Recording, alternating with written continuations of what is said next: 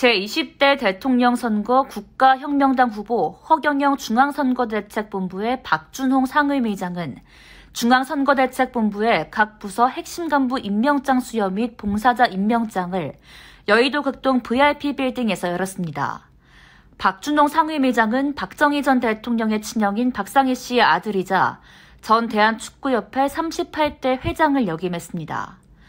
이날 박준홍 상임위장은 박근혜 전 대통령 사면 축하 플랜카드와 유경수 여사 추모제에 매년 빠짐없이 참가하는 허경영 후보에게 진심으로 감사하며 이에 보답하기 위해 이 자리에 왔다며 국가혁명당 중앙선거대책본부 상임위장의 역할을 충실히 수행하겠다고 밝혔습니다. 우리 허경영 후보께서 항상 일찍 나타나가지고 이것저것 혹시 도울 일이 없는가 하고 외롭게 박정희 대통령 제사를 모시던 저를 격려해주고 지원해주고 항상 또 끝나고 나면은 우리가 용기를 내서 위협을 개성하자는 이런 말을 해주셨습니다. 격려를 해주고 지원을 해주는 이런 분이 이런 일이 있을 때 제가 가서 무엇이라도 도와드릴 수 있는 것이 그분에 대한 보답이 아니겠느냐 해서 나타났습니다, 제가.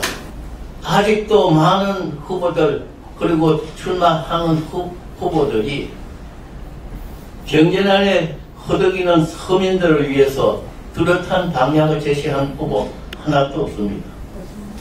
이래가지고 우리의 희망이 있겠느냐. 그리고 웬 비리가 그렇게 많습니까?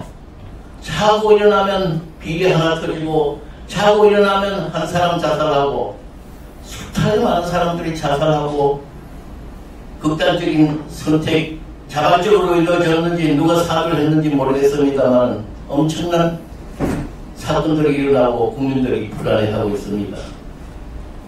이 허경영 후보께서 여러 가지 어, 국민들이 솔깃한 공약을 내놓고 뭐 이것이 과연 이루어지겠느냐 하는 그런 이야기도 있고 한데 저는 허경영 후보께서 이 내건 공약이 다른 여타 후보들한테 영향을 줘서 그 후보들도 자기네들 공약을 내는데 상당한 영향을 준 게 아니냐 하는 그런 생각도 해봅니다.